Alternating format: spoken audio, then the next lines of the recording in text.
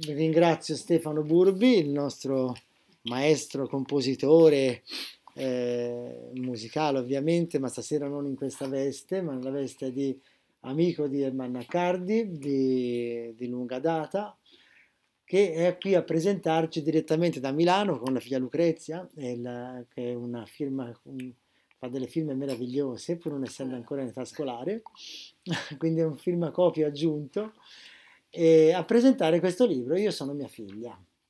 Quindi ehm, lascio la parola a Stefano perché presenti al meglio questo libro che me l'ha consigliato. Io ho subito accettato questo invito fattomi e spero che stasera abbiate modo di eh, valutare anche i contenuti di questo, di questo, scritto, quindi mi fa piacere. Poi eh, abbiamo più o meno stabilito che faremo una presentazione di un altro libro eh, inizio anno nuovo con Ermanno che è anche editore oltre che autore, che in questo libro è autore ma in questo altro caso è editore. Se vuol fare alla fine del video un accenno al libro che eh, certo. è uscito e che potremmo pubblicare, potremmo scusate, presentare a inizio anno, insomma, volentieri. Certo, va bene? Certo, grazie Stefano di averci segnalato questa cosa. No, grazie a te, caro Mauro, grazie a Emilio Salvemini per l'ospitalità e grazie a Ermanno che è venuto da Milano qui a, nella nostra città, a Firenze, per presentare questo libro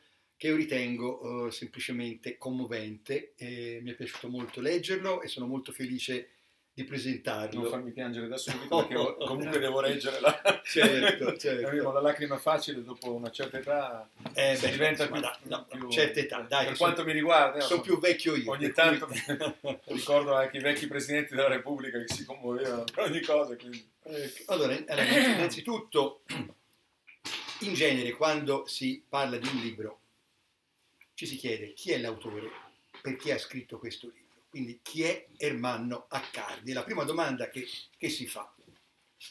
Eh, lo, lo, presentiamo in sintesi, ci sarebbero moltissime cose da dire di Ermanno, ma eh, Ermanno Accardi ha 63 anni, l'età è funzionale alla narrazione, come capiremo dopo, siciliano di nascita, però milanese di adozione. È laureato in scienze politiche e giornalista professionista. È importante sottolineare le radici di Ermanno, perché come diceva il personaggio della santa nel film La grande bellezza di Sorrentino, le radici sono importanti. E nel caso di Ermanno lo sono ancora di più perché la sicilianità che lui ha è un valore aggiunto, come vedremo anche nel corso del, di questo incontro, anche se l'autore ama appassionatamente Milano, la sua città di adozione. E Milano, sono parole sue, Milano è femmina. Quindi in oltre 38 anni di professione eh, Ermanno si è occupato di tante cose, si è occupato come giornalista di esteri, di cronaca, di sport, di musica, di cultura, di spettacolo, di costume, di televisione, sia a livello locale che a livello nazionale. Uh, non soltanto ha, ha lavorato per Repubblica TV, ma anche per Mediaset, MTV, All Music, e fra i molti impegni... Non ero giovane però. Eh, beh, sei ancora giovane. fra i molti impegni di giornalista, di scrittore, di presentatore e organizzatore di eventi di comunicazione, ma soprattutto direi come padre innamorato pazzo di sua figlia, che questo è il tema del libro del resto, ha aperto anche il blog Milano Meravigliosa, che prende il nome da uno dei diversi libri che lui ha scritto finora e nella maggior parte dei casi hanno la sua amatissima città come protagonista principale o comunque come sfondo dei suoi racconti. Quindi è un ottimo ambasciatore anche di Milano. Quindi ora siamo soddisfatti delle note biografiche dell'autore, in estrema sintesi, e ora passiamo a capire perché il libro si intitola Io sono mia figlia. Bellissimo titolo, molto importante. Beh, Ermanno ha avuto una figlia quando aveva 57 anni. Ora questa meravigliosa bambina che si chiama Lucrezia è là, eccola là, è... è lei la, la Dante causa, diciamo, ecco, di, questa, di questo incontro, di questo libro. E allora l'ha avuta quando aveva 57 anni, ora lei ha 6 anni e quindi Ermanno si è sentito, eh, diciamo, investito di una grande responsabilità in un'età, diciamo, non usuale, diciamo, perché in genere uno diventa padre prima, però Ermanno non pensare di, di essere un fenomeno, eh? perché io ti posso dire che non sei il padre più vecchio del mondo, strano ma vero. Ho fatto delle ricerche, ho scoperto che ti ha battuto Ramit Raghav, classe 1916, indiano, ex wrestler, e ha avuto il primo figlio a 94 anni, quindi eh, ce n'è di tempo ancora, Angela, la moglie, eh, dove la moglie? Eccola, eccola là, Angela, ancora ce n'hai da lavorare. Tempi più recenti, Mick Jagger, Mick Jagger, grandi attori, aspetta, Steve arriviamo, McQueen, arriviamo, arriviamo. Poi, beh, insomma, chi batte tutti è Matusalemme, perché aveva 177 anni, 187 anni quando generò la Mech e lui morì a 969 anni, quindi c'è ancora Sarebbe, tempo, sì, sarebbe sì. carino. Io Sarebbe carino. trovo, trovo E interessante. quindi insomma, per dire, no?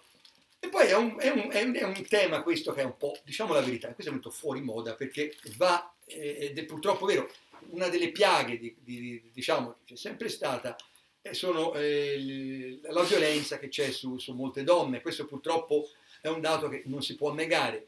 Però attenzione, per fortuna stasera vediamo che non tutti gli uomini sono così.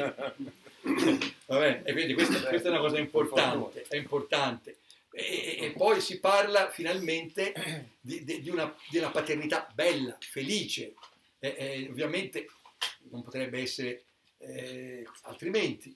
E, oltretutto c'è stato anche il concorso di tua moglie, di- della madre, sopra- di Angela. Soprattutto di, Di tutti e due. Parle- tutti e due. parleremo del nulla. Esatto, esatto, e due. Parleremo del nulla. Quindi ecco, diciamo le cose come stanno. Eh, è un incontro felice su un, tema felice che eh, sembra essere fuori moda, perché la felicità sembra essere un po' fuori moda no? dei, dei rapporti di coppia. Invece non è così, perché ci sono coppie felici, per fortuna, ci sono uomini buoni e quindi cerchiamo di essere ottimisti, cerchiamo di, di vedere oggi l'aspetto buono, l'aspetto bello. Ed è questa una delle ragioni per cui sono felice, diciamo, di usare la mia veste di professore di, ex professore di lettere, diciamo, per presentare questo, questo libro. Allora, Ermanno, il più bel lavoro, diciamo la verità, se io lo chiedessi a lui, non ti, non ti faccio rispondere ancora, non ti do ancora la parola, so io cosa mi diresti. Fare il padre, fare il papà. Ed è giusto. Pensate che lui è giornalista, è scrittore, ma lui voleva fare anche il calciatore nel Milan e fece un provino, fece un provino e gli andò bene.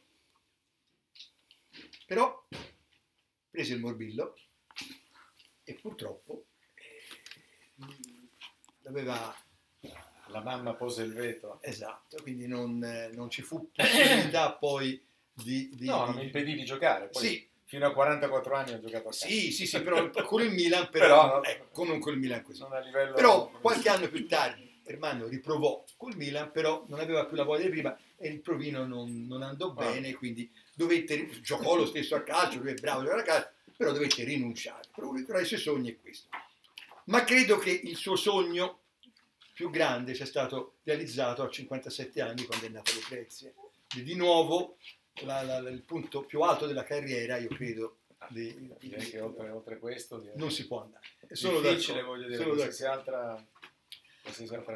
Quindi vi presento adesso in estrema sintesi il libro. Il libro da un punto di vista letterario, perché ci vuole anche un minimo di inquadratura letteraria e storica, è un libro, direi, autobiografico. È una specie di diario autobiografico. Però non è l'autobiografia compiaciuta dello scrittore che dice ora, ecco la mia vita, ve la racconto, tenetevela, ecco qua, perché... No. È un dialogo commovente, bellissimo, di un padre verso sua figlia, perché, e questo gli devo tirare le orecchie, è una paura che non devi avere, perché Ermanno teme che la differenza di età, che 57 anni non sono pochi, è vero, però al giorno d'oggi, eh, eh, teme che questa differenza di età gli impedisca di vedere crescere sua figlia, di vederla diciamo, realizzata nei suoi, nei suoi traguardi. Eh, io ti posso, eh, ti posso dire che non devi avere questa paura perché eh, al giorno d'oggi, per fortuna, l'aspettativa della vita è aumentata, è aumentata molto. Anzi, proprio l'altro giorno, pensavo proprio a te, pare che i sessantenni di oggi, i sessantacinquenni di oggi, addirittura, sono come i quarantenni e cinquantenni di prima, quindi eh, deve passarne ancora di acqua sotto i ponti, per cui eh, l'età è una cosa ormai relativa, molto relativa. E io direi di, eh, di, di vedere il libro proprio come una testimonianza dell'amore in generale di un padre verso la figlia. E, e Ermanno cerca di farsi conoscere da sua figlia e di conseguenza ci, si fa conoscere anche da noi. Ermanno è nato a Caltanissetta nel 1960, però ora è milanese, si sente milanese perché è arrivato nel 62, dopo, a due, anni, anni e mezzo, figlia. Esatto, e è arrivato a Milano, quindi praticamente lui ci descrive Milano in maniera azzeccatissima e questo lo voglio leggere perché è un, è un, un passo che mi è piaciuto molto. Sì, Milano non ti aggredisce visivamente, non ti molesta in continuazione esibendo le sue meraviglie storiche e artistiche, aggiungo come Firenze. Eh? Un po' di campanilismo ci vuole, eh? perdonatemi, perché non si mostra facilmente agli occhi distratti, ma ha un'anima vera, generosa, che si svela soltanto a chi la sa osservare. No, Milano non va incontro a nessuno, chi la vuole ammirare la deve andare a cercare, come ho fatto io, come faccio ancora oggi, perché ce l'ho nel cuore e nell'anima mia cara. Con me Milano è sempre stata romantica, accogliente e disponibile, come spero lo sarà sempre con te. Si rivolge ovviamente a Lucrezia, alla figlia. E io la vedo bella, bellissima, come il primo giorno che l'ho incontrata, come quando sei nata tu in quella tiepida mattina di ottobre. Sì, ci sono dei risvolti romantici parlando in, alla città perché Milano è femmina e Ermanno quindi eh, la, la, dire, la, corteggia, eh? senza ingelosire la moglie che ovviamente è un'altra cosa, è un altro tipo di amore, quindi Angela deve stare un'altra milanese acquisita. Esatto, esatto. Però Ermanno nel corso del, del, della sua narrazione non manca di darci un riferimento alle sue radici, prima geografiche, perché le radici sono importanti, come ho detto prima, e poi della famiglia d'origine, ed è un accenno anche al mistero della morte, che in qualche modo purtroppo è, è sempre presente nel corso ah, della, della, della, sì, della narrazione. Sempre riferendosi naturalmente, parla a Lucrezia, tu i nonni non li hai conosciuti, né nonno Giuseppe e nonna Lidia, i miei genitori né nonna Marianna né nonno Antonio, genitori di mamma. Li hai cercati tutti, parecchio, anche perché avevi gli altri bambini alla scuola materna circondati appunto dall'affetto dei nonni e mi chiedevi, papà, perché io non ho i nonni? Io dovevo spiegarti che erano volati in cielo e ora ti guardano da lassù. Purtroppo Ermanno, l'autore, ha visto la morte da vicino. E lui ha perso il fratello Ercole nel 2007 stato un, uh, un, passo molto duro da leggere e vi confesso che quando l'ho letto eh, mi sono commosso e credo che vi commuoverete anche voi quando adesso ve lo leggerò. Si tratta di mio fratello Ercole, tuo zio tesoro, quello che non hai conosciuto. Sudo freddo, riattacco, giro la bici e torno a casa il più velocemente possibile per prendere la macchina e precipitare là. Arrivo, mi arrabbio un po' perché non trovo parcheggio e alla fine riesco ad entrare al pronto soccorso. Io era stato avvertito che c'era stata questa tragedia. Mi viene incontro un medico, mi dice che hanno fatto il possibile, che ha avuto due arresti cardiaci. Al primo lo hanno ripreso, sul secondo però non c'è stato nulla da fare. Mi dicono che posso scendere in camera mortuaria. Apro la porta con il cartello che porta la scritta Ercole Accardi, 15 ottobre 2007. Lui è lì, un lenzuolo bianco lo copre completamente, povero e sfortunato fratellone mio. Due lacrimoni mi solcano il viso, mentre lo scopro gli accarezzo la fronte ancora un po' tiepidina. Si era da poco rasato a zero come me, perché proprio come i miei i suoi capelli non erano più belli e folti come un tempo. Lo guardo con tutto l'amore con cui si può guardare un fratello appena morto e gli parlo a bassa voce, come non disturbare il suo sonno. Poi la mia mano sinistra si ferma all'altezza del cuore, preme con dolcezza sul lenzuolo bianco. Il suo non batte più e a me sembra che anche il mio si sia fermato. sente il rumore assordante del silenzio, come solo il silenzio della morte sa essere assordante.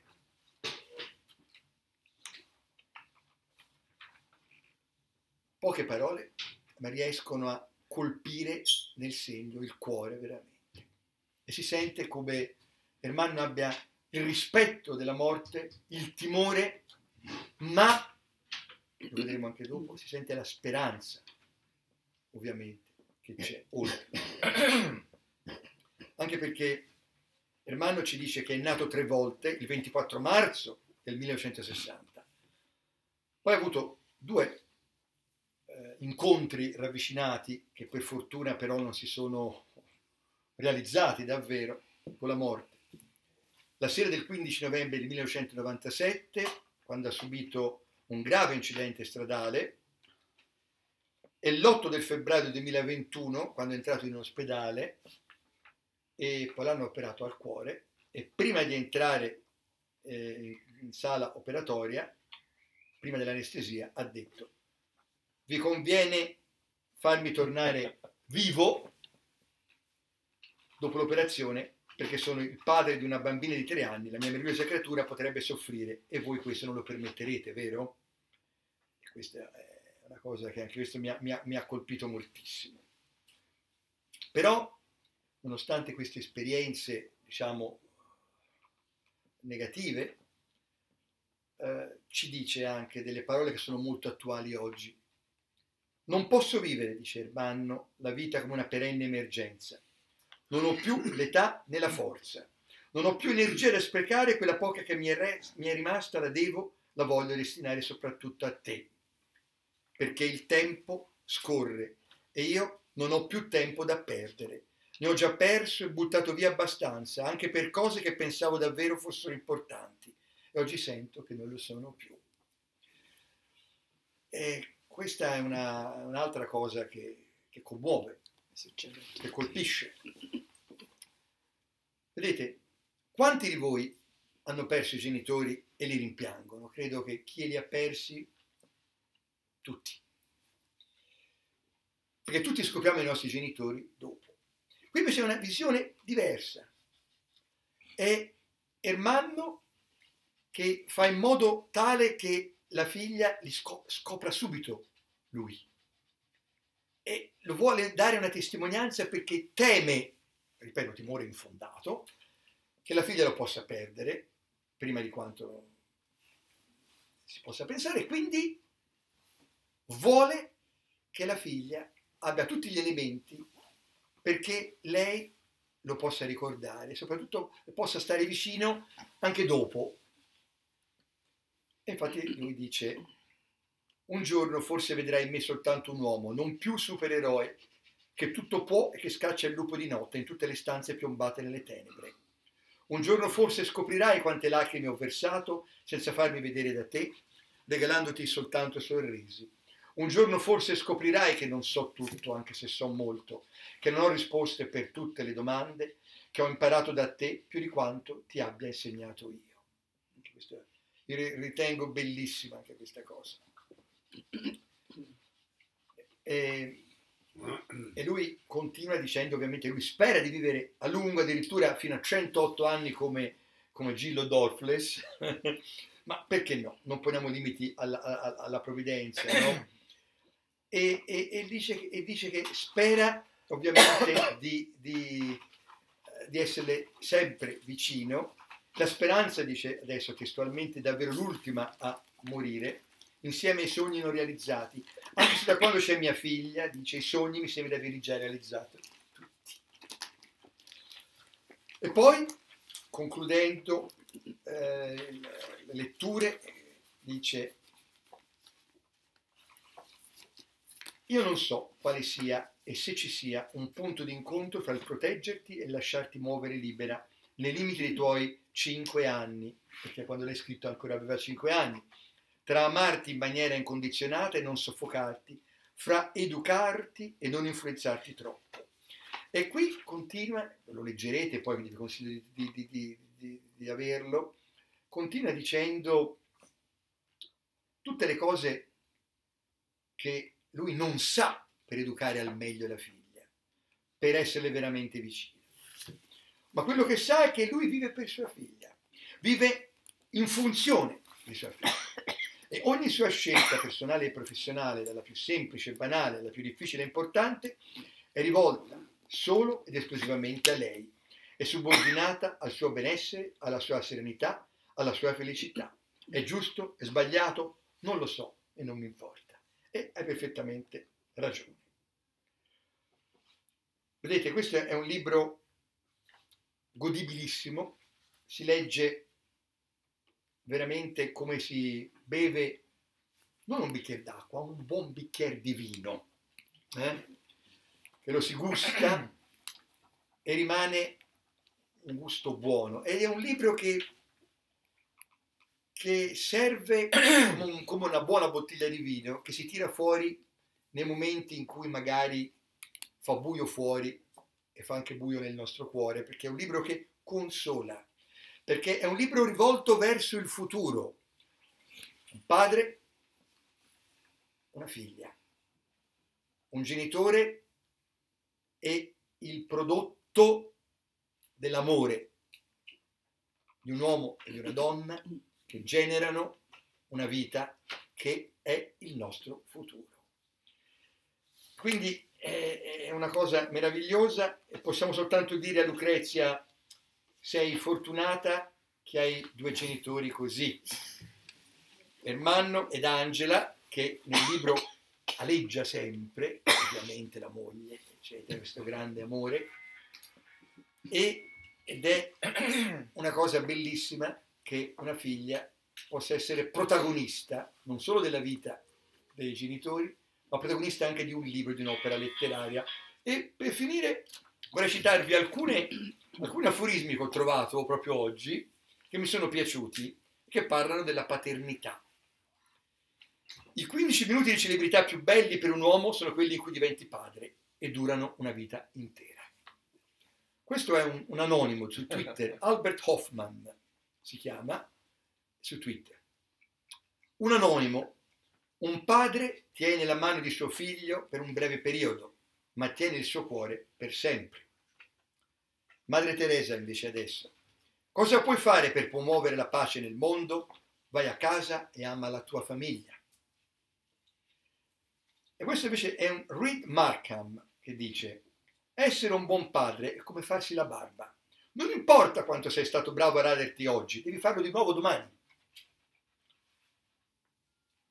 Il più grande regalo che un padre può fare ai suoi figli è amare sua madre. Questo lo dice Anagne Garcia Untalan. E per finire, una cosa che voglio dire io, il padre è forse l'unico che dice a suo figlio, in questo caso a sua figlia, che è felice se diventerà più grande di lui, se avrà più successo di lui, se sarà più bello di lui nel caso del maschio, se sarà più ricco di lui. Perché un padre non può essere geloso di un figlio, ma può soltanto desiderare il meglio per il figlio, in questo caso la figlia. Perché essere padre, come essere madre, è forse l'atto di più, di, di più grande di generosità ed è una cosa bella che si può fare per il genere umano. Per cui grazie Ermanno di aver scritto questo libro, grazie Ermanno di essere qui stasera e di averci dato un bellissimo frutto del vostro amore, Lucrezia.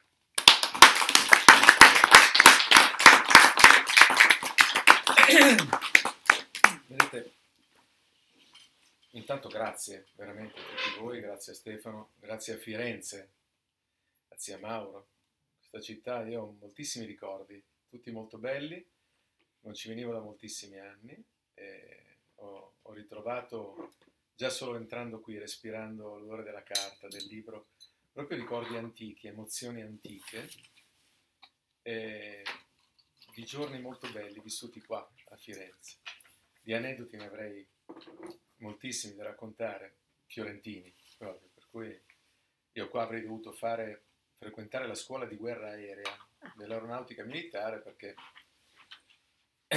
facevo ancora la maturità, avevo 19 anni, quando poi finita la maturità mi sono iscritto all'università, mio padre mi diceva, eh, visto che io volevo fare il militare subito, eh, diceva no, dicevo, sai papà, faccio il militare subito perché comunque beh, noi siamo una famiglia che sta bene, però insomma, non è che scuotiamo l'albero vengono giù i soldi, quindi io all'epoca lavorare e studiare era abbastanza no, frequente, normale, quindi e dicevo, beh, però eh, almeno togliamo questa dicitura nel, nel curriculum eh, eh, eh, obblighi militari non ancora assolti, assolviamoli, a vent'anni ci pensiamo più, dice no, fai, le, fai, l'ufficiale, perché almeno poi sei stipendiato, guadagni bene, insomma fai tre mesi in più, eh, che a un ragazzo di vent'anni gli tre mesi in più, di militare, insomma, eh, già... E cioè, poi ti mando dal mio amico, che suo conterraneo, come dicevo io, conterraneo all'epoca, il generale Basilio Cottone, che era, era, all'epoca comandante della scuola di guerra aerea, che così un po' ti, ti tiene un po', non è che tu abbia tanto bisogno, però almeno ti tiene nei binari per un po', guadagni un po' di soldini, poi io invece feci la scelta di, far, di fare sì, sempre l'aviere, ma poi a Milano, perché poi stando a Milano insomma, avevo la possibilità di fare molte altre cose, compresi gli, gli esami all'università ai quali mi, pre- mi presentavo da, da, da, buon paravento, per non dire altro, chiaramente in divisa con la, dell'arma azzurra, poi ero a Milano, l'ufficio stampa era quello che volevo fare, quindi non mi è sembrato neanche vero. Quindi la bellezza di Firenze, perché poi io ci tornavo a Firenze e li vedevo gli allievi che uscivano in libera uscita, io all'epoca avevo la chioma fluente, li vedevo con questi capelli tagliati cortissimi e un po' sorridevo all'idea no, di questa cosa. E quindi, e quindi tanto grazie, veramente, cioè, mi fa molto piacere. Poi la seconda cosa che vi voglio dire è che io, è vero, tutto quello che ha detto Stefano, cioè, confermo parola per parola, ovviamente, e faccio e ho sempre organizzato eventi, incontri, ho partecipato, ho invitato ad incontri, eventi, dibattiti di vario tipo e laddove è stato possibile io ho sempre preso la parola per primo, soprattutto perché c'erano dei grandi esperti dopodiché magari ho moderato, eh, perché prendere la parola dopo qualcuno che ha detto cose interessanti, stimolanti, commoventi, o come ha fatto Stefano adesso che ha detto delle cose straordinarie, cioè parlare dopo, insomma, de- delle persone di questa levatura è un po' come, non so, faccio un esempio, come per Gigi D'Alessio cantare dopo Frank Sinatra, è la stessa cosa, vorrebbe piacere, ma diventa complicato dire qualcosa di interessante, di intelligente dopo aver sentito questi soggetti. Allora, alla fine io mi, mi, mi offro, dirò giusto due cose, però poi mi offro all'interazione col pubblico, che è la cosa più bella, perché voi sapete che oggi le presentazioni dei libri, questa è una presentazione di, di tipo classico, però normalmente le presentazioni dei libri eh, o qualsiasi altro evento si fa sempre con il prosecco in mano, almeno a Milano funziona così, prosecco da una parte e musica dall'altra, dopodiché si può parlare di qualsiasi cosa, quindi musica dal vivo, musica diffusa, ma le classiche presentazioni dove ci sono due persone, come nel nostro caso, uno che parla e l'altro che risponde e deve anche tenere a freno la lingua perché l'entusiasmo è quello di raccontare tutto il libro, dopodiché il libro non lo, non lo vendi più e, non, e allora non è, non è servita niente questa chiacchierata. No? E, e, per cui c'è questa fregola. Dopodiché al pubblico vengono concessi 5 minuti, 10 minuti alla fine, domande, domande, domande, c'è qualche coraggioso che alza la mano. Grazie, arrivederci.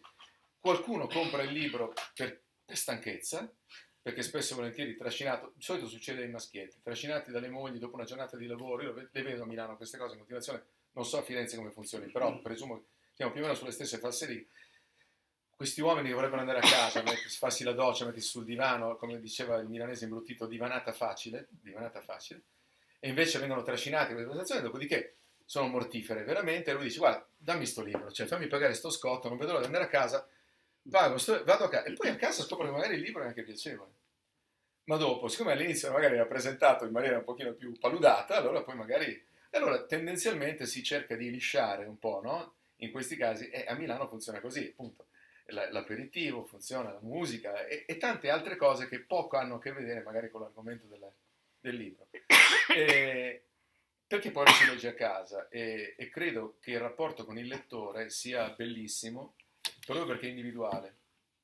Questo mettersi a nudo, come ha detto Stefano prima, no? questo un po' spogliarsi, essere, mettersi veramente a nudo davanti agli altri, allora possono leggerti in tanti, eh, si spera sempre che siano tanti a leggerti, evidentemente, non dal punto di vista commerciale, però poi nel rapporto eh, col, con il lettore sei da solo, sei tu e il lettore, la lettrice e nessun altro. E il lettore ti legge dappertutto, legge in bagno, in camera da letto, sotto l'ombrellone, sul treno, in, in tutte le situazioni possibili e immaginabili, quindi con grande intimità, c'è un rapporto intimo con il lettore. Quindi tante volte ci si spoglia, come in questo caso, dici, ma ti sei spogliato davanti a tante persone. Non lo so, io mi sono spogliato davanti a Laura, Carmela, Stefano, Cinzia, moltissime altre persone, Paolo, ma perché è stato un rapporto a due, in questo senso, ci siamo guardati in faccia, ci siamo raccontati queste cose come due amici intimi o che lo diventano alla luce di quello che ci stiamo dicendo. Quello che posso aggiungere rispetto a quello che ha detto Stefano, due o tre cose che mi sono appuntato mentalmente. La prima è che io ho sentito l'urgenza di scrivere questo libro perché è una paternità tardiva, oggettivamente parlando. È stato proprio un bisogno fortissimo, è stato quasi come una, una, una lunga seduta psicanalitica per me, è scritto anche abbastanza in fretta, nel giro di pochi mesi, raccogliendo anche altre cose che io avevo scritto nel tempo, che dovevano servire a mia figlia per dire guarda, speriamo di averne moltissimo di tempo, senza porci troppi limiti. Io ho citato Gillo Dorfles, i 100 anni, 108 anni, me lo auguro anch'io, e la vedo dura, però me lo auguro anch'io.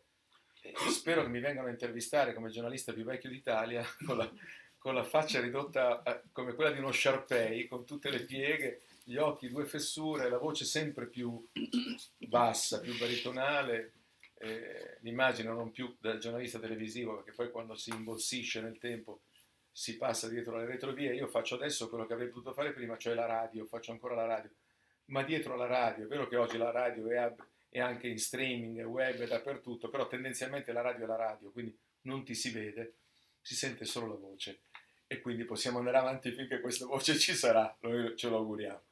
Ora però l'urgenza nasce da questo, dal fatto che sì, è vero quello che dice Stefano, si è allungata la vita, ci sono delle aspettative più lunghe. Questo in linea generale. Ancora oggi però ci meravigliamo se eh, collega come Luca Goldoni muore a 95 anni, e già dire collega mi, lo, lo dico con, con, con, molta, con, molta, timidezza perché ho questo rispetto sacrale per i, per i colleghi più giovani. Dicevo prima a una, a una collega Manuela, non, non so se, se, sia la sindrome del discepolo, però comunque anche, anche a 63 anni ancora quando incontro colleghi più grandi di me, io sono ancora deferente da questo punto di vista. E, però, molto più eh, onestamente, io in questi anni posso parlare per le mie esperienze personali, diciamo che il grosso in termini quantitativi delle persone che io ho perso, degli amici e non soltanto mio fratello, che era molto più grande di me, aveva 14 anni più di me, oggi ne avrebbe 77, non mi dispiacerebbe affatto averlo qua, direi, visto che è stato, insomma, fratello che era un secondo papà per età, per differenza di età, parliamo delle, della differenza di età di allora, dove si notava di più un quattordicenne con un fratello di 28 anni che era già un uomo, 28-30 anni eri fisicamente già un uomo, era il classico pumenda milanese, no? Si vedeva già bello grande con la pancia, brizzolato, oggi trentenni. A 28 anni? 20, 30 anni era già bello, oggi trentenni sono più o meno dei ragazzotti che stanno ancora in casa, tendenzialmente, anche fisicamente parlando. E però io quelli che ho visto andare via erano sempre più o meno nel range compreso tra i 50 e i 70, 75, poi per carità ci tocchiamo, ci grattiamo, facciamo le corna, facciamo tutto quello che vogliamo. Me lo auguro. Ecco, io eh, ho anche la fortuna di avere diversi amici medici che hanno, condividono con me l'insana passione per la scrittura, quindi non fanno i giornalisti ma fanno i medici. Eh, scrivono tanto. Scrivono tanto, scrivono tanto, in molti libri abbiamo scritto delle antologie insieme di racconti milanesi, molto divertente, hanno una bella penna, si vede, una bella tastiera ormai si può dire, no? più che una bella penna. La tastiera eh, non potrebbero fare i giornalisti, sono due cose completamente diverse, se, sebbene affini per alcune cose, ma sono due mondi diversi, quindi quello è un mestiere, una professione che non c'entra niente con la scrittura, secondo me. E, e la fortuna di averli. E, e di essere intimi, perché quando un, un, amico medico ti fa la conoscopia e ti controlla la prostata, possiamo dire che siamo intimi, no? Sì. Possiamo dire, cioè, io Ermano lo conosco molto bene e quindi, e quindi Finché non ti sfonda l'intestino. Bravo, esattamente, finché non, non esagera, con- sempre con delicatezza ovviamente, sempre con delicatezza. Amici Quindi- fino a un certo punto. è vero, è vero, è vero. Quasi amici. Qua- quasi amici, quasi amici, no? come diceva il titolo di quel, di quel del film. Non amici, ma Eh, intimi ma- sicuramente. Ma intimi sicuramente, intimi sicuramente. E, e ricordo un altro amico neurologo, 74 anni, milanese, mi diceva, senti Armando, tendenzialmente hai ragione, essere da questo punto di vista abbastanza pragmatico. E ne hai 63, qualche acciacchetto, ma niente di che, facciamo un'altra ventina? Io ho detto, va bene, quanti sono? 83 fa. Tua figlia a quel tempo fa 26, puoi anche chiudere gli occhi, se no, smettila di rompere le scale. Questo era un po' un modo per sdrammatizzare, però vuoto per pieno non diceva tante, diceva anche delle grandi verità in mezzo a quelle righe. Ora poi ripeto, noi, e non parlo in plurale maestatis, noi ci auguriamo tutti evidentemente di, di- di vivere il più a lungo possibile e voi pensate in questa situazione di paternità tardiva cosa io posso pensare vivendo in perenne equilibrio tra questa felicità pazzesca da rincoglionimento senile di, di un padre con la figlia femmina, una roba devastante, devastante, e dall'altra l'angoscia anche di un banalissimo raffreddore. Ma l'angoscia non per te, perché tu dici, beh, nessuno se ne vuole andare, però insomma, io anche a 63 anni, due o tre cosine le ho fatte, voglio dire, no?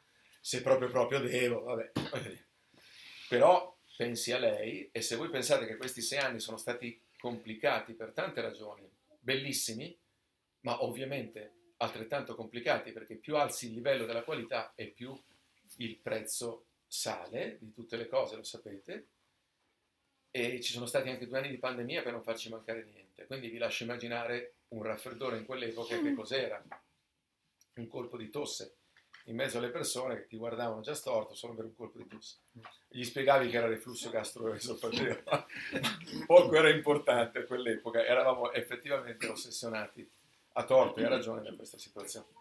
Quindi è stato complicato. Ecco, viverla in questo modo è stata difficile, veramente difficile, bellissima e difficile. E, e però, e però ci deve essere tanta voglia, tanta energia che lei dà, tanto entusiasmo nei confronti della vita, perché se tu non guardassi la vita con fiducia, se noi guardassimo la vita come la guardiamo, spesso e volentieri ce la raccontiamo io e Stefano, neanche con cinismo, perché poi alla fine il cinismo spesso e volentieri è, è l'ultima spiaggia dei romantici, si rifugiano lì eh, e nella nostalgia, come diceva Giuseppe Gambardella nella grande bellezza, no? diceva Mhm. cosa avete contro la nostalgia? È l'unico rifugio sicuro che abbiamo eh, contro la diffidenza di questi tempi. Ebbene, io non ho neanche questo perché non posso essere diffidente. Io per mia figlia devo immaginare una vita di sicuramente migliore della realtà che noi vediamo tutti i giorni, almeno quella che vediamo noi, eh, nei paesi cosiddetti civili, civilizzati. E quindi augurarmi questo, quindi l'essere comunque sempre fiducioso, ottimista, perché poi alla fine la tua natura è questa. È ovvio che però quando arriva un evento di questo tipo ti fa pensare, come molto più modestamente diceva anche Lorenzo Cherubini Giovanotti, dice io penso positivo, ma non vuol dire che non ci vedo. Cioè, essere positivi è una cosa, essere pirla, come dicono a Milano, è un'altra. Quindi va bene la positività, però con i piedi per terra se possibile. Ecco, questo è un po' il quadro. E a mia figlia in questo lasso di tempo ho detto, guarda, quello che avevo da dirti in sintesi è questo, come sunto vorrei dirti molto altro. E mi auguro che tu possa leggerlo insieme a me o anche non insieme a me con una consapevolezza diversa. Adesso sei in prima elementare, imparerai a leggere, lo leggerai ma non lo comprenderai tutto, anche perché il libro è rivolto anche ai lettori, perché altrimenti sarebbe stata una lettera da mettere in un cassetto della scrivania alla figlia e dire questa è tua. E quindi non darlo alle stampe e, e- e- distribuirlo nelle librerie perché è ovviamente dedicato anche ai lettori, c'è anche proprio un capitolo specifico dedicato ai lettori. E quindi questo, quello che avevo da dirti. Poi avrai evidentemente la consapevolezza magari dell'adolescenza e comincerai a, a capire forse nel bene e nel male che era tuo padre, perché tuo padre te lo racconterà probabilmente qualcuno, a partire da- dalla mamma, ma sarà comunque soggettiva. Sarà un'interpretazione soggettiva del papà, no? Del papà, del collega, dell'amico, di quello che volete voi a quel punto dico posso dire anch'io qualcosa di me stesso, vuol dire magari sì. Allora questo è quello che ti dice papà.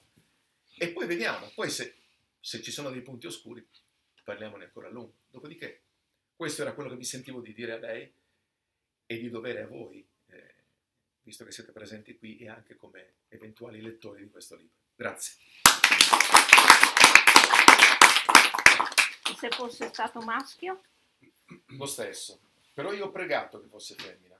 Ho pregato, io che sono un laico, per quanto cristiano, cattolico, con tutti i sentimenti, scusate, con tutti i sacramenti a parte uno, eh, però eh, ho pregato che fosse femmina per tutta una serie di ragioni. Intanto, in maniera molto egoistica, perché le femmine sono molto del papà in linea di massima e a me questa cosa piaceva tantissimo. Io ho visto mia sorella impazzire per mio padre, anch'io sono impazzito per mio padre, essendo l'ultimo dei miei figli ero anomalo in questa cosa, non ero molto mammone, ero molto papone, e perché anche lui era un papà vecchio. Perché nella Sicilia degli anni 60, mentre al mondo io ero il terzo, quindi l'ultimo, con distanza dei fratelli, un uomo di 41 anni e una donna di 36 nella Sicilia degli anni 60 erano due vecchi, Anziani. poi ce la possiamo raccontare finché vogliamo, erano due vecchi. E, e, quindi io già lo vedevo sempre con questo rispetto, questa soggezione, insomma, i Vaffa non volavano facilmente, anzi non volavano affatto. E qualche volta c'era magari un'intemperanza, c'erano subito la, la richiesta di scuse a mamma e papà perché non perché bastasse uno sguardo, no, loro ormai avevano un'età per cui erano così stanchi io avrei potuto fare qualsiasi cosa. E quindi ormai ero l'ultimo, per cui diciamo che è andata bene da questo punto di vista. E femmina perché la differenza di età tra femmina e maschio tendenzialmente a parità di età non c'è, non c'è storia, non c'è partita, loro sono molto più grandi, crescono prima e, e hanno un, un attaccamento diverso, un rapporto diverso con i genitori. Poi intanto anche egoisticamente perché il nemico dichiarato non sono io, non dovrei essere io, di solito è lo stesso sesso, no? Soprattutto nell'adolescenza, in questo caso è la mamma, se già adesso tutti i giorni è una guerra, si amano, si baciano, si litigano, si azzuffano in continuazione, ma il nemico dichiarato, il modello da battere, anche se è un modello straordinario, è il tuo stesso sesso tendenzialmente. Per cui io mi chiamo fuori, è quello che viene richiesto all'altro sesso è di essere presente. Non ha importanza, bello, brutto, stupido, intelligente, ricco o povero, l'importante è che tu ci sia. Se non ci sei, cominci a non esserci, mi girano le scatole. Quindi è vero che in amor vince chi fugge, spesso vediamo che molti genitori non ci sono più perché hanno divorziato, per altre ragioni, li vedo un poco e quindi c'è questa rabbia da un lato magari e questa rincorsa per questo genitore che non c'è, per cui quando lo vedo non solo lo spremo economicamente parlando, ma perché ce l'ho poco a disposizione, magari tutti i giorni mi rendo poco conto di quanto sia importante. In realtà non è vero, è vero fino a un certo punto.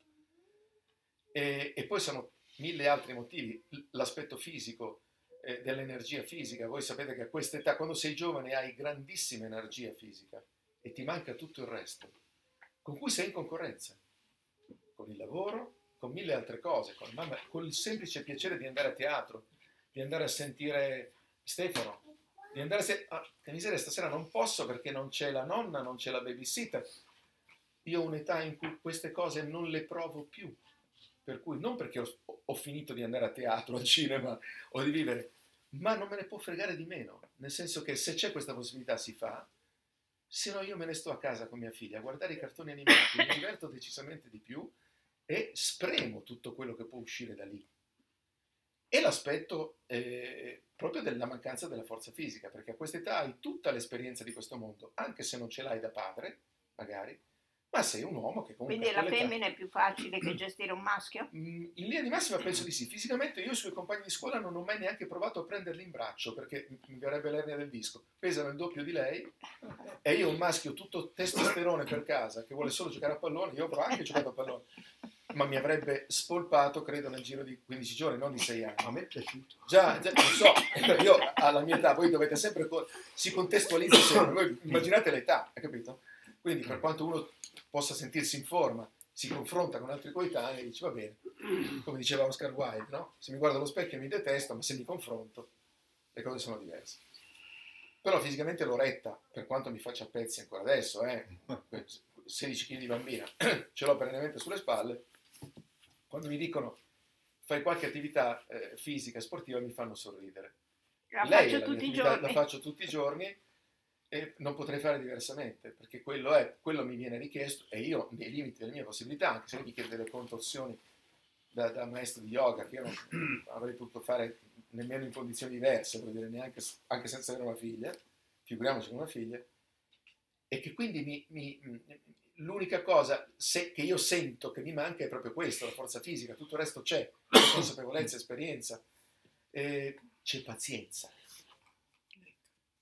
Che mia moglie, che per quanto non sia più una ragazzina, ha comunque nove anni, che sono parenti di dieci di 10 meno di me, voglio dire, cioè, no, si dice l'età, no, si deve dire l'età, come no? Si, e come no? Si, è Prima lei chiede il permesso. Sì, no, ma no, eh, questo è un siparietto che noi facciamo spesso, eh, siamo, siamo, in un'altra epoca in cui, le, le, anzi, di solito si, si manifesta no? l'età per dire guarda come li porto bene, no? Per dire, io dico sempre a mia moglie che è comunque più giovane di me, ma mi legge la targa, quindi mi vede, non è molto e lei dice sì, io eh, ti leggo la targa ma mi devo mettere gli occhiali. Dico comunque sì, la vedi, in questo momento la vedi. Lei per esempio, che pur essendo una donna di esperienza, eh, sotto mille profili, ha meno pazienza di me perché l'addestramento militare è il suo, non è il mio. È lei che deve dire 20, 30, 40 no al giorno, che però per effetto dell'età, diciamo non più proprio da, da, da ragazzina, si trasformano in sì per stanchezza a differenza di quello che succede al papà, che già sì, da subito, per 20, 30, 40 volte, tranne un paio di no. E allora, quando arrivano questi no, che sono perentori, magari alzando un po' il vocione, lei sgrana gli occhi, e mi guarda e mi va a dire, proprio tu? Eh sì, proprio io, ma guarda un po'. Eh, perché que- la, la mia apertura di credito è enorme, non solo per stanchezza fisica, ma perché credo che mia figlia sia una bambina bella dentro prima ancora che fuori e caspita, io ti faccio un'apertura di credito straordinaria, no, non esagerare, e ti metto alla prova, ti metto alla prova tutti i santi giorni per vedere dove arrivi e a quel punto io però poi i miei no sono no e lì restano con una lacerazione del cuore che vi lascio immaginare, una, un, un, dolore forte, dei sensi di colpa assolutamente inutili e ingiustificati chiaramente da, da però papà. ci sono. Eh, però ci sono, da papà nonno io queste cose le provo. Quindi femmina, Milano è femmina, e non da quando è arrivata lei, da quando è arrivata lei anche di più. Milano è femmina per, per dire qualcosa in più rispetto a quello che ha detto Stefano, perché accogliente, Milano è femmina è stato uno dei libri che io ho scritto a quattro mani con il collega Domenico Megali, un sottotitolo che ha fatto un po' arrabbiare le, le, le femministe Tantan, perché il sottotitolo era un po' mamma, un po' puttana, ma lo è, perché Milano è questo. Come tutte le donne. Peraltro, Milano forse più che puttana è, è prostituta, voglio dire. Peraltro, no, no, ma io questa, questa frase che mi dice la mia collega l'ho sentita dire a molte donne, perché è vero, è vero, è vero, è vero c'è questo, questo tipo di solidarietà femminile. No, ma è vero, è vero, no, ma è un dato di fatto. Eh, diverso dalla prostituta. Milano forse oggi è prostituta più che puttana perché è accogliente, si apre a una mamma, si apre a tutti, Milano si apre a tutti e altrettanto con la stessa rapidità si chiude, perché dopo un po' ti caccia in mano modo, è successo con gli austriaci, con gli spagnoli, con tanti altri, a un certo punto proprio ho dovuto cacciarli in malo modo perché si erano trovati fin troppo bene a Milano, in maniera esagerata, avevano preso possesso della città. E, ed è una mamma perché è accogliente da quel punto di vista, che, che se ne dica, Milano ti permette di fare cose che in altre città d'Italia, veramente con grande rispetto, e con tutte le contraddizioni di Milano, e con tutte le brutture di Milano, tutte le... se volete vi faccio un elenco, ma ma Così tu parli con una milanese. Brava, esatto. Dire, no, vi faccio capito. l'elenco, lo so, dico, vi faccio l'elenco, ma resta comunque forse, ma sicuramente l'unica città europea di questo paese, è sempre il mio modesto avviso, con tutte le sue contraddizioni, ce ne fossero altre due o tre, magari una per zona d'Italia sarebbe meglio. Questa è una mia, è una mia opinione. È femmina per questa ragione. Io spero che sia femmina anche con lei, che sia mamma, oltre che la sua mamma, perché a me personalmente ha dato tutto quello che poteva darmi. Mi ha, salvato la vita un paio di volte, tra l'altro, mi ha ripreso per i capelli, tant'è che adesso non ci sono più. Però eh, mi ha permesso di vivere sano, di studiare, di lavorare, incontrare l'amore della mia vita a 53 anni, quando io proprio ultima cosa che stavo pensando, da singolo impenitente. Sempre un po' tardivo. Un po', un po tanto tardivo, però devo ammettere, sia io e mia moglie, insomma, ci siamo sposati tardi, lei dice, lei dice che no, il nostro non è stato un colpo di fulmine, ma un colpo d'Alzheimer, perché non c'era una ragione, non c'era una ragione che uscisse dal, dall'aspetto emozionale, quindi con un minimo di razionalità, che non c'è mai nell'amore, ma perché eravamo due single, io impenitente, lei un po' meno, ma eh, almeno a suo dire, eh, io sto a quello che lei mi racconta, però siamo stati così e quindi senza impegni di nessun tipo, eh, senza altre famiglie alle spalle, perché normalmente questi sono i figli del secondo giro, per cui tu hai avuto i figli da giovane, eh, è successo a Stefano, me l'abbiamo avuto figli giovani, figli di 26, 27, 30 anni, poi divorziato, sei ancora sul mercato, tutto sommato ancora e poi ti sposi con la ragazzina che ha l'età di tua figlia e dice io figli non ne ho, ma guarda. E quindi si fa una figlia e, che però tu vivi con più distacco perché l'hai già visto questo film e continui imperterrito a fare il tuo lavoro, essere a casa poco, poco presente, poco stancante, mettiamola così. E, mentre chi poi fa una scelta, come avete, leggerete nel libro, molto diversa e un po' più stancante, mettiamola in questo modo. E quindi non c'era una ragione, noi avevamo soltanto il il, il trolley, come quando siamo venuti adesso a Firenze eh, stamattina, non avevamo nessun bagaglio, solo il bagaglio a mano, non avevamo nessun tipo di... quindi non c'era una ragione per... belli, rilassati, mai convissuti. Quindi provate a immaginare due persone di 53, 44 anni all'epoca vivere sotto lo stesso tetto senza avere la possibilità del maniglione antipanico, della, della fuga, di dire va bene, stiamo tre giorni da me, due giorni da te, come si faceva prima con le fidanzate, con queste semi come... non c'era più per cui quando volevi sbattere la porta e dire vabbè dai ci vediamo domani, eh, no. Mia moglie da buona romana, buona laziale diceva quando vai io? Devi sempre tornare qua perché comunque la casa è una sola, già senza figli, figuriamoci con i figli ancora di più. Questo almeno è tanto per darti una risposta.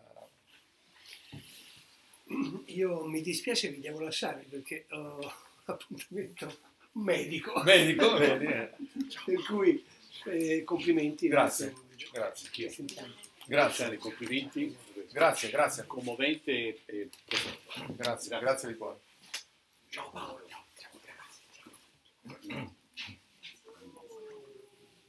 Stefano, hai esaurito tutte le tue potenzialità nella presentazione o c'hai qualche precisazione da fare su quello che ha detto lui?